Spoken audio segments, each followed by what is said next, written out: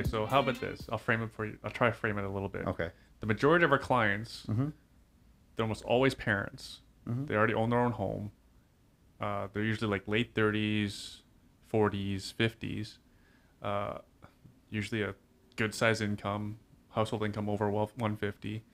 Uh, and they're getting into real estate because they want to, you know, create their own pension, pay for their children's education, that sort of stuff. Mhm.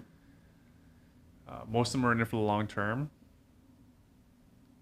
A lot of people have sold, but that wasn't the plan. A lot of people are selling now, but that wasn't the plan because COVID accelerated everything. I mean, if you're just looking at doing cash flow properties, right, like an investment property, then most likely you want to take advantage of a corporation, both from a tax standpoint as well as a liability standpoint, right? And and then also from a succession planning standpoint, because what you can do is properties held in a corporation, which you can then pass through to, via secondary will, assuming you have one drafted, is that you can pass that without having to pay estate administration tax Right. and with what property prices are today Right. and often like i mean honestly in some cases when i see like the kind of gain you might be sitting on Yeah.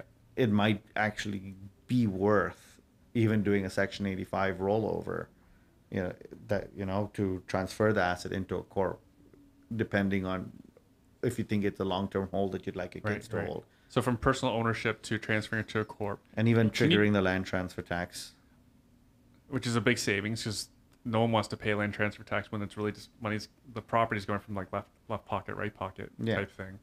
Uh, when can you do the Section 85 tr- rollover? Like, can you do it any time of your ownership, or does it I, I mean, the be- time, anytime you ownership, there's times of year it might be more advantageous to do it.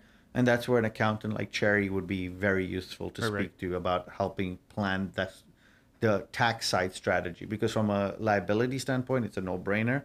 From an estate planning standpoint, unless there's like an impending health issue like a emergency surgery or you know you're going on a risky trip because you're a journalist in a war torn region or something like that, it's it's okay to you know do that whenever. But Right. it's it's about just ideally get the advice before you buy, right? Mm-hmm. Because you'll save yourself a lot of money, mm-hmm. a lot of money. Like I mean, the difference is like five to ten thousand dollars potentially, just getting that right advice at the beginning, than you being told later on, hey, you didn't structure this correctly, or it's going to cost you X because you did it this way. Mm-hmm. Like I've got clients who are trying to like finagle away that, oh well, we close in January, we set up our corporation in May, and somehow we still want to claim that this corporation was a beneficial owner this whole time. I'm like, Mhm.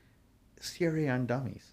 Yeah, no, Like- they're not dummies, and they're looking for money to get. Exactly. So don't make life easy for them. Yeah, and this is a challenge I think for new investors. Is like the the you know they're all fired up to do something.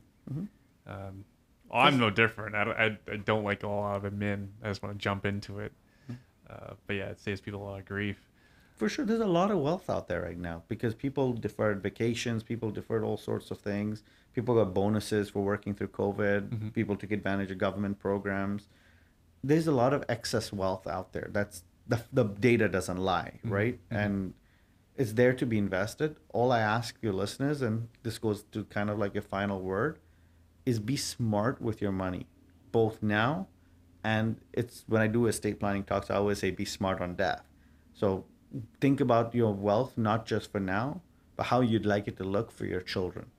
And not just in terms of numbers, not just like I want X to be the net worth, but how are you going to transition it over to them? Mhm. And how are you going to teach them to not just retain, but to grow and leave even more for the next generation, both in terms of values and ideally even more revenue. Because what we all want for the, our next generation is they should have more options than we had.